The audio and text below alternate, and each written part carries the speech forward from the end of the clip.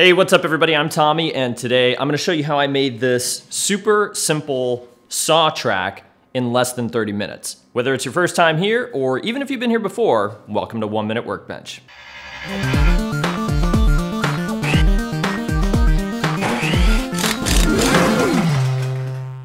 So this track captures your saw on both sides and allows you to align the track with your mark via these sight holes.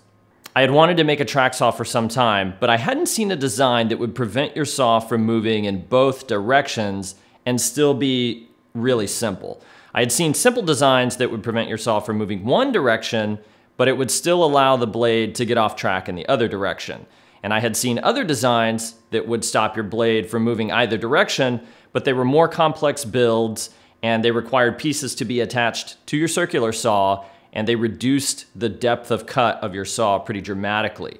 Uh, so I finally came up with this design that, again, uh, it stops your saw from moving either direction, so you get perfect cuts, uh, but it's still a very simple build and it allows for a much greater depth of cut with your circular saw.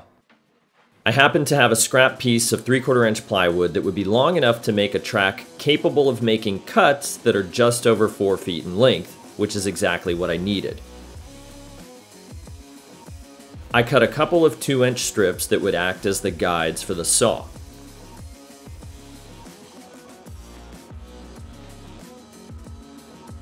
I aligned the first guide with the edge of the track's base and then attached it with glue, pins, and screws.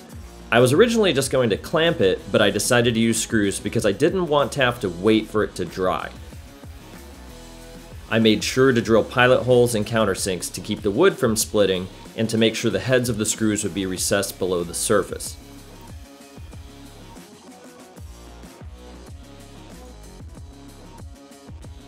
The circular saw's blade was preventing the saw from sitting flat, so I removed the blade. After that, I added glue to the second guide and loosely set it in place. I folded a piece of paper in half and used it as a shim to create just a slight bit of clearance between the saw's base and the track's first guide. I then snugged up the second guide to the base of the circular saw and fired a couple of pins to hold it in place. I then repeated that process for every section of the track. This will ensure that the saw always has just enough room to keep it from binding, but not enough to be sloppy. When testing, the saw had a very nice sliding action. I then added screws to the second guide to finish attaching it to the track. Based on the blade's distance from the end of the base, I cut a couple small pieces that would work as stop blocks. I also trimmed a bit of excess from the track. I secured the stop blocks in place in the normal fashion with glue, pins, and screws.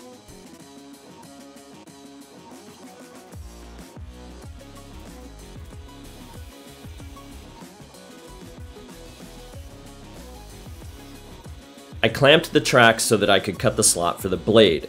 I was a bit too eager here though.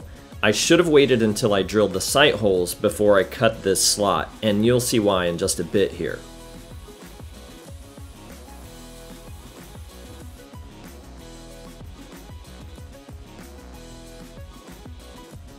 Because the slot was already cut, there was no way I could get a drill bit started in the center of that slot. So I temporarily pinned these blocks in place so I could have something to let me get the drill bit started. That said, if you make one of these, make sure you drill the holes before you cut the slot.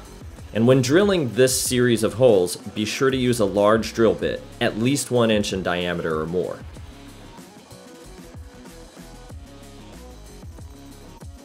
After that, I removed the temporary blocks and decided it was time to give the track saw its first test.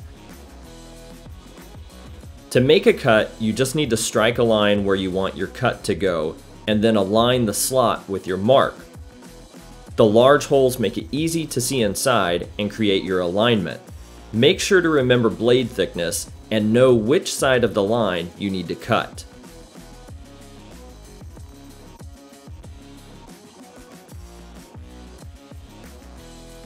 You just need to have enough holes in your track so that you'll be able to align two of them with your mark. Once you have two of them aligned, clamp your track in place, and make your cut. My workbench has a place that's perfect for making these cuts between my table saw and the workbench top. If you don't have a space like this, just make sure you support the material on both sides so that your blade isn't cutting into whatever is below it, like I've done here with some scrap pieces of plywood.